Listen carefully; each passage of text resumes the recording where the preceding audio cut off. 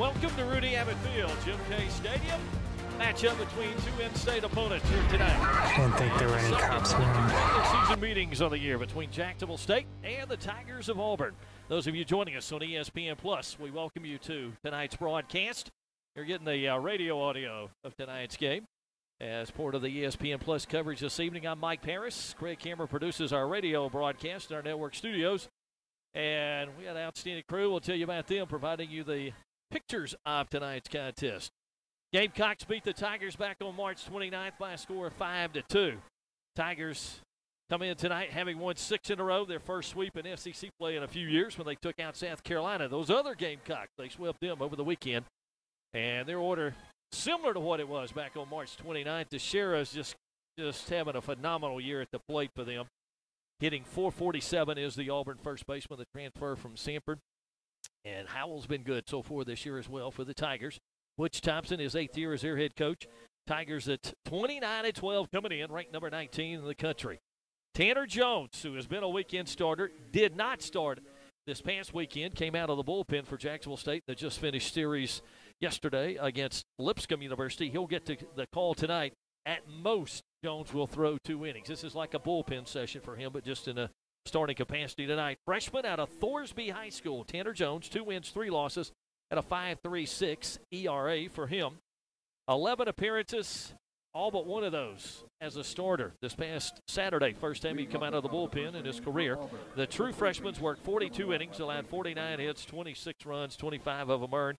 He has struck out 34, walked 18 opponents, hitting 299 against him. He was terrific over the weekend in the uh, uh, Saturday game in that series in ASUN play with Lipscomb.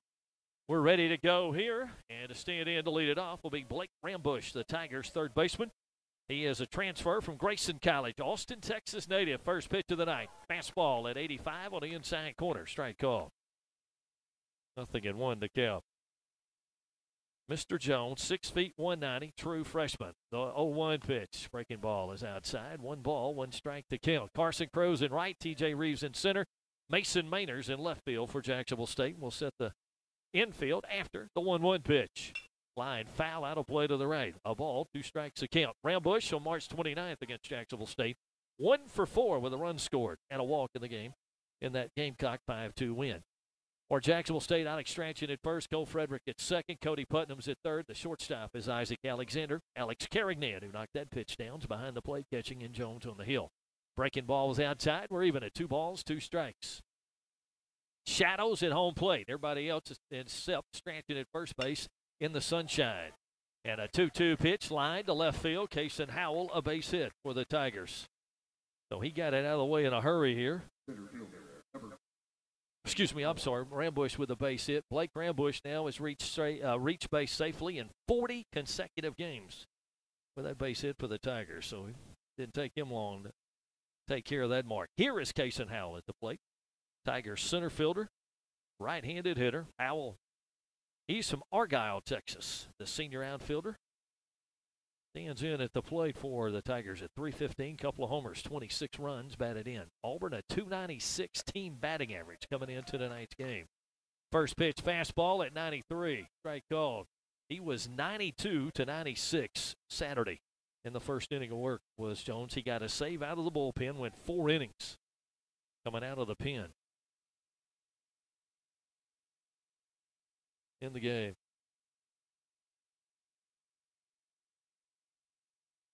Yes. Thank you, sir. I appreciate that. Gifts galore here. Well, I shouldn't say galore, but gifts in the press box. Thank you. Nothing in one to count.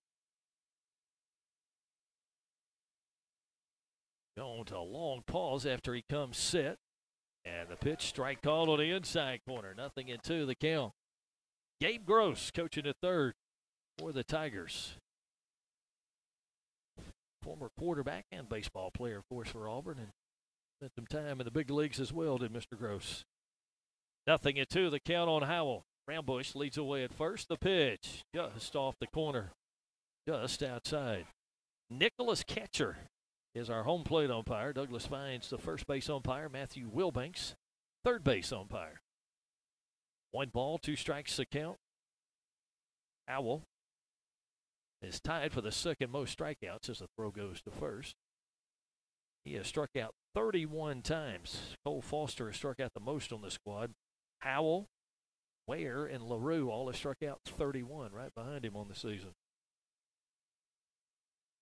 One ball, two strikes to count. Another throw to first.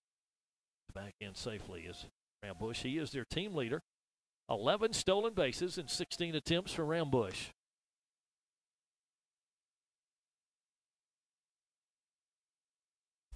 As a team, Auburn 33 of 43 in the stolen base category. One two pitch hit right off the end of the bat, foul first base side. Jones, for a moment, was the only person that reacted. Howell didn't get out of the batter's box real quick and scratching off the bag at first. Didn't move initially as well. Home plate is in the shadows, as is first base. Everybody else is in the sun, but it's especially bad and tough at shortstop, third base, and left field. It can be brutal at those three spots this time of the day here as they look up into the sun. One and two the count. Jones ready to go to work. True freshman. Runner leads at first base. He pauses now, deals. Fastball at 90, foul back to the screen. Our dimensions here at the ballpark. Down the lines to the Chick fil A foul poles. 330 down the line and left. 335 down the line and right. To the power alleys, 375 to left center. It is 380 to right center and 403 to straightaway center field. I don't know why we couldn't make it 400 or 405. We just went in the middle, 403. One ball, two strikes to kill. Another Jones pitch. Did he go around?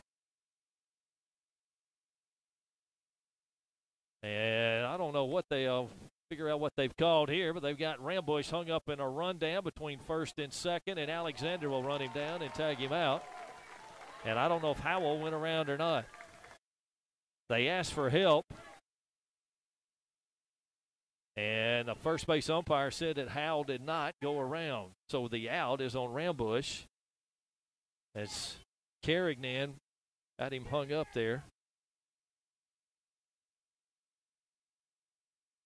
So it'll go two, two to four, to three to six on the put out there as he gets thrown out. Got caught in a run down to Rambusch for the first out. And The count is 2 2 on Howell. And he hits it hard on the ground, right side. Frederick to his left fields and throws. Two down. Ball was hit well, but right at Cole Frederick. Had to move one step to get it. Two down. I don't know how just sort of stutter stepped on that previous play when he got caught in the rundown. I don't know what happened there. So two outs, and here's DiChiara. He's a transfer from Samford to their program, a Birmingham product. Actually, I should say Hoover. And he's played travel ball with a bunch of the Gamecocks and a bunch of the Tigers as well. Everybody seems to know him, except me, I think. Well, he's been terrific for Auburn. 447 as he takes a first pitch strike. He's hitting 447, 55 hits, 27 of those are extra base hits. Check swing foul. Watch out, Evan Bush. Gamecock assistant coach had to get out of the way there in the corner of the dugout. It's nothing at two. DiChiara has 12 homers and 15 doubles, 27. Half of his hits basically are extra base hits on the season. He leads them in doubles. He leads them in homers and runs batted in. Total bases slugging percentage. He's walked 42 times as well. 0-2 pitch here. Fastball at 93. Above the letters. He laid off of it. One ball, two strikes a count. And this is another stat that's crazy to me. His on base percentage, it's an unbelievable 595. And here we are, three fourths of the way through the season. A 595 on base percentage for Sonny DiChiara. Transfer from Hoover, 6'1, 260 pounder. 1 2 pitch. That bounces up there. Outside on the breaking ball. The shift is on for him. Three infielders to the left side of the bag at second, but TJ Reeves, the Gamecock center fielders, a couple of steps from in center field toward right center. 2 2 pitch. Fastball ran it high and inside. Well, he's run it full. He was ahead at two strikes. Obviously, with 42 walks, he's got a good eye at the play, too, to, to Shera. Started his career at Samford and then transferring down to Auburn. Took a shot the other way, hitting against the shift that time. Or hitting away from the shift, I should say, and fouled it out of play.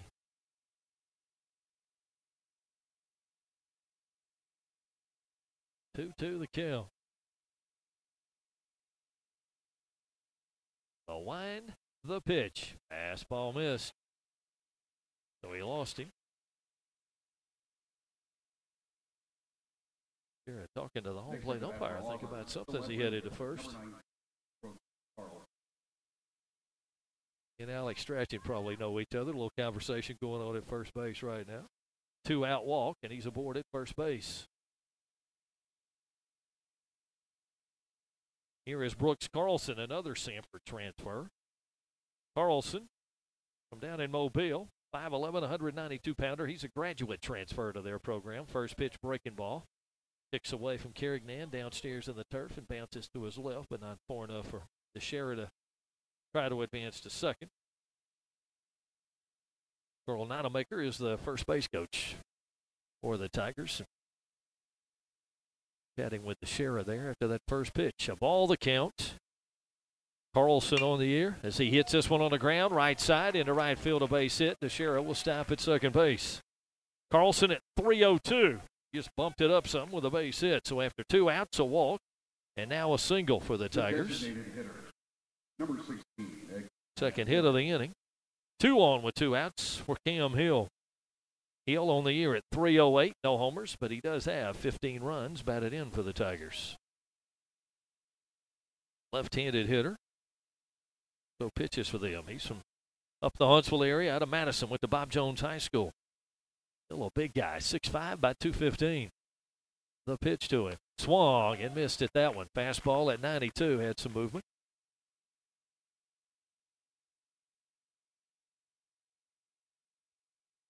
Jones, this 22nd pitch. I'm not sure if he'll, one inning may be all we see him tonight, or he might pitch into the second. We'll just see what Jim Case decides to do. Obviously, this is just a tune up for the weekend for him.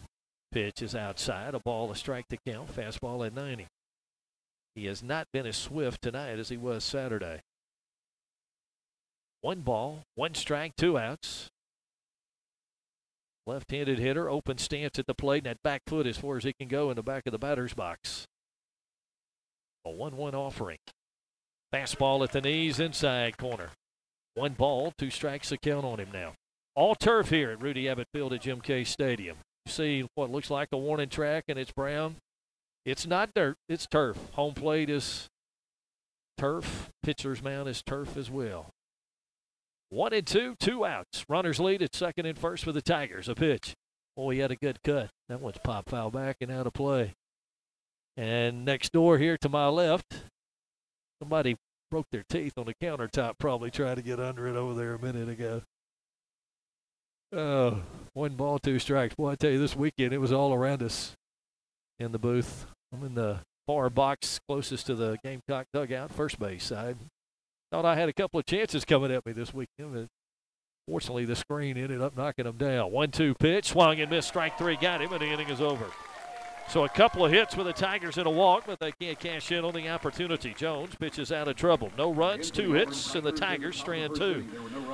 Nothing for Auburn in the first. Jacksonville State coming to bat. Check out this Verbo. Oh man, look at me.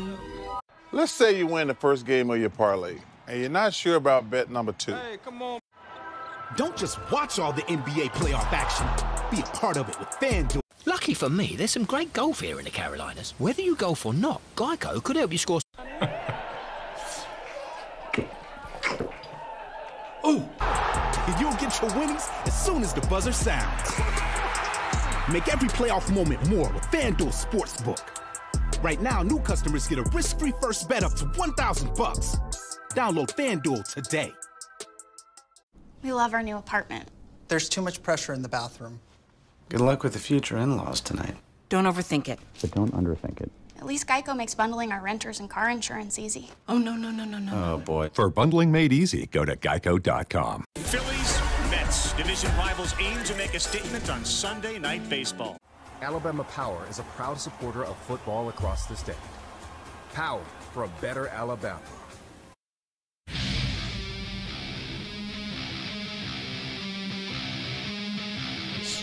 Miley hit the right button here. Mason Barnett getting ready to go to work for the Tigers. Barnett in his 13th appearance of the year. He's made 12 prior to tonight, obviously. Seven of those as a starter, and those have been midweek starts. A guy that they thought might be in the weekend rotation at one time. So 12 appearances this year, seven starts. His record two wins, a loss, and an ERA at 4.29. In his 12 outings, he's worked 35 and two thirds innings, given up 33 hits, 18 runs, 17 of those earned. Boy, a good strikeouts to walks ratio 45 strikeouts to just 16 walks so far. And opponents hitting just 248 against him. He did not pitch against Jacksonville State in the matchup back on March the 29th. Leading off the bottom of the first inning for Jacksonville State, the left fielder, number 21. Jordan Armstrong started that game for the Tigers and went the first three innings. By the way, Jones, who started tonight for the Gamecocks, did not face the Tigers first time around.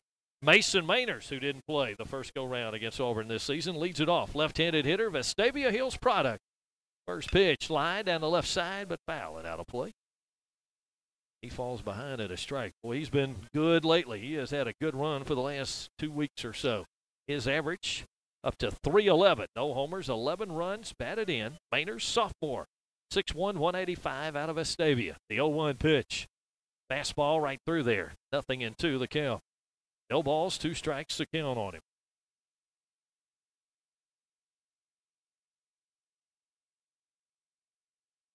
Barnett, the sign, winds and deals, and that hit him. That got that right arm. I'm surprised that from up here, I thought maybe he got that arm out there a little bit, trying to get it. Sonny DiChiara laughing when he comes down to first. Um, everybody knows Sonny now. Butch Thompson is out of the dugout. Let's we get another replay here up top. Well, maybe he didn't get the. He just had that elbow out front anyway, and it got him on that elbow guard. Butch Thompson. It took a moment, but he did come out of the dugout. He's talking to the home plate umpire. Now he's going to call his crewmates over to visit with him. I thought initially maybe he did, but looking at the replay, it didn't look like he made a move to to get hit by the pitch. So he stays there. The three umps get together and meet. That time the replay proved him right. So Mainers aboard at first base. Just had that elbow really right there at the front of the zone. Mainers is on base for the 17th straight game. That's the longest streak for one of the Gamecocks this season. 17 in a row now in which he's reached. He's at first with nobody out for Cole Frederick. Pitch to Freddie. Fastball outside corner to the Tuscaloosa native. That one at 94. Nothing in one, the count. Frederick on the season at 253 with a couple of homers. 12 runs batted in. The 0 1 pitch. Breaking ball. That's hit into the gap in right center field. Nobody got to catch that ball. It'll one hop and go over the fence. And that's a bad break for Jacksonville State because Mason Mainers probably would have scored from first base. He can run, Ken Mainers, and probably would have scored had the ball not hit the turf and bounced over the fence just to the left of the 380 mark. And it bounces between the video board and the 380 mark on the right center field fence out there. So Freddie's at second. Frederick with his team best 13th double of the season for Jacksonville State. So the Gamecocks something brewing against Barnett. Two on and nobody out. And here is TJ Reeves. Frederick, nine straight games in which he's reached base safely. First pitch to TJ. Fastball. Swing and a miss. Nothing in one. The count. Reeves, the transfer from Tuscaloosa, has been very, very good. Leading hitter for Jacksonville State. He's hitting 368 coming in. Five home runs, 22 runs batted in. Bad pitch, another fastball on the outside corner. Nothing in two. The count.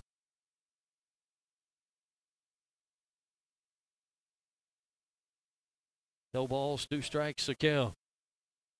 Mainers at third, Frederick down at second. Reeves leading the team not only batting average, but runs, scored, hits, total bases, slugging percentage, stolen bases, and being hit by pitches. But he's going here on three. Chase one up right around the letters, maybe a little above the letters, and might have been off the plate. We're going to miss for strike three. So TJ's out of there, one down. Yep, right at the letters. And it might have been just off the plate. One down. Here's Carignan. The Gamecock catcher at 252, couple of homers, 20 runs, batted in for the Murfreesboro, Tennessee native.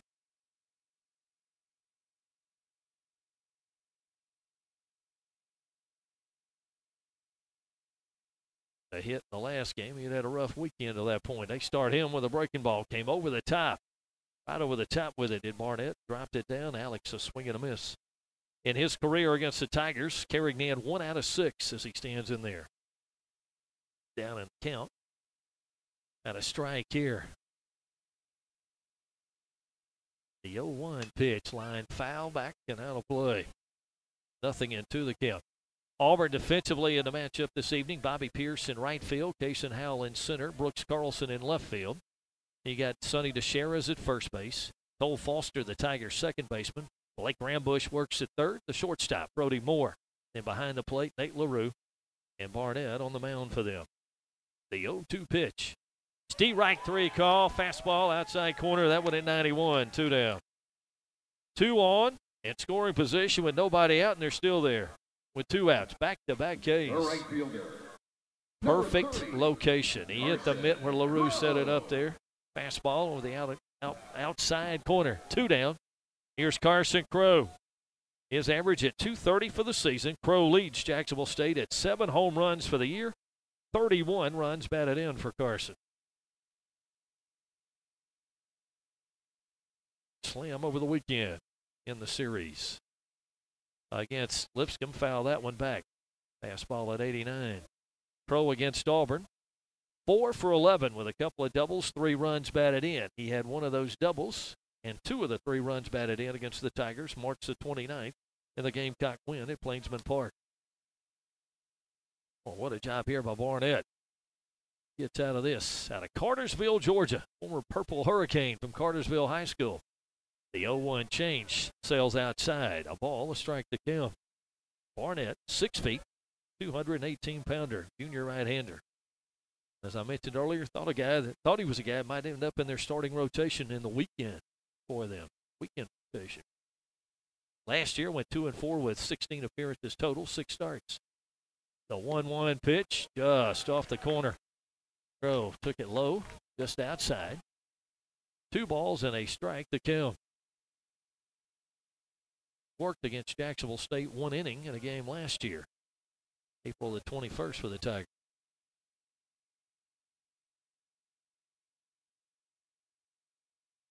Two balls and a strike. The pitch from Barnett to Crow. Good breaking ball. Came over the top. Swing and a miss by Carson Crow. Two balls, two strikes to kill. He and Trevor Lawrence from the same high school, Cartersville, Georgia.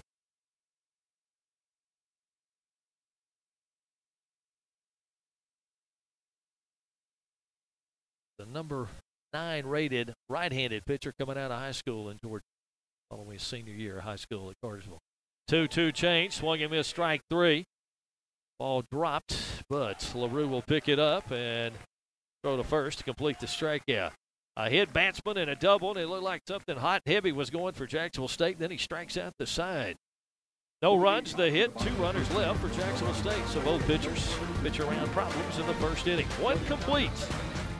No score. Auburn in Jacksonville State here at Jim Case Stadium.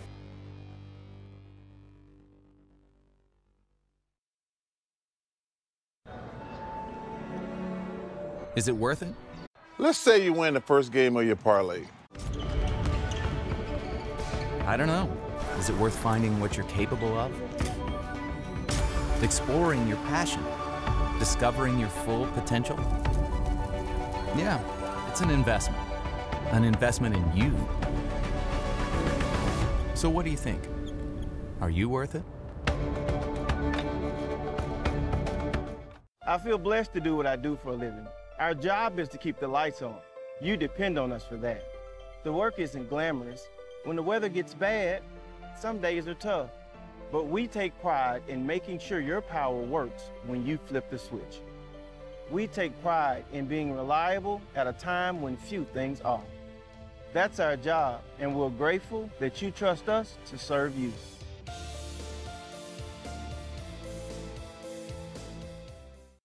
Comfortable at bat. And freed off to a good start. Two up, two down in the first inning.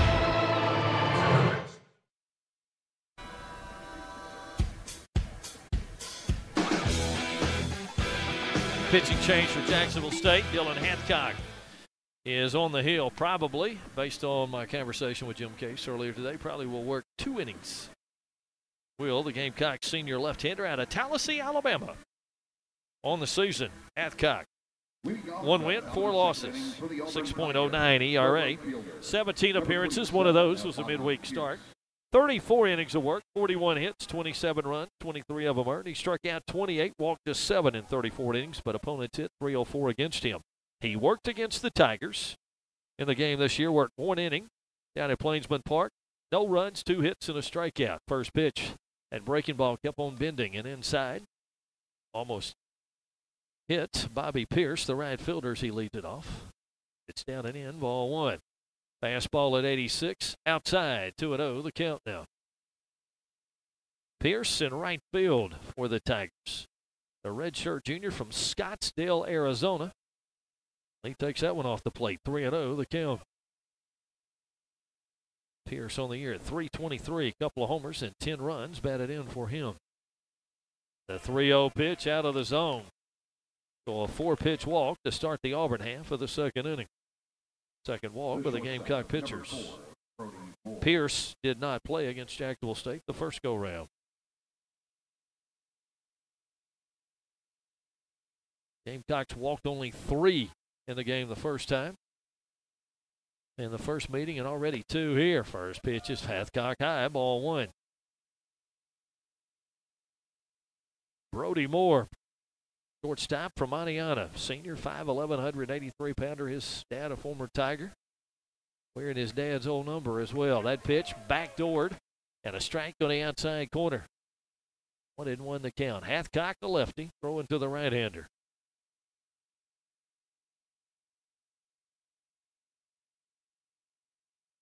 handed hitters for the year, hitting 308 against Hathcock. Fastball, a little high, bumped him off the plate. Two balls, a strike to kill. The infield, no shift, but TJ Reeves in center, around toward right center for Moore. And he took a shot to right and hit it just foul down the right field line. Ball kicked around down there off the indoor facility and back out toward fair territory. Throw down here to get it. Pitchers out of the dugout to retrieve it. Two balls, two strikes, a count on Moore.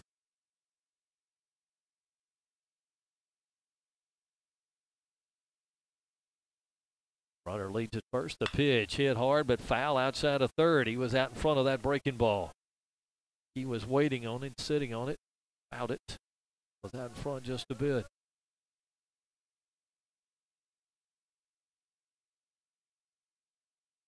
Dad Brandon Moore was an all SEC player at Auburn from 91 to 94. 2 2 pitch. Check swing, tapped it foul behind the plate.